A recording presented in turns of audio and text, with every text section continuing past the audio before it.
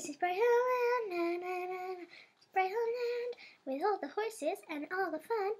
Eh, with all the horses and all the fun, na na na. This is Land. Oh Kaz, you've had your fall. Oh my gosh, and it's beautiful. It is so beautiful. Oh, oh my gosh. Look, that is so beautiful fall. Such a beautiful fall. Such a beautiful fall. Well, she's trying to get up, but she needs her mummy's help.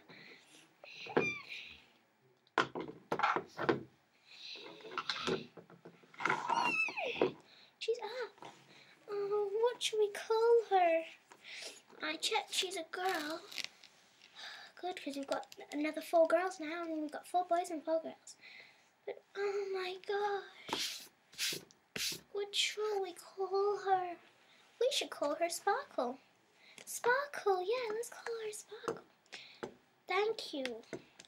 Let's call her Sparkle. But if you guys want to change the name, just comment down below and we'll change the name to that name, which one we like best. So yeah. Let's go crazy, crazy. And the name we like best, we'll get this. we'll um um have a shout out next week in next in our um video that we get to see the comment on next video. So Sparkle temporary name. Oh, you're so cute. I can't believe this is happening. This is totally wicked. Oh, well, it turns out that that horse did, that new pony did come to good use. Yes, I suppose it did.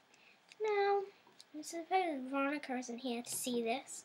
Oh, she's always out, isn't she, with a new horse, apparently. Hmm, in London, so it's only me here now. Oh, my new guys are so cute. Well, I better put you back in the stable then. I'm going to put you straight into a normal stable. and I'm not going to put you into mummy and mummy and um, cat because you uh, stood up. You stood up straight away.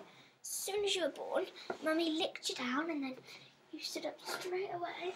So I'm gonna put you straight there. So that was episode four.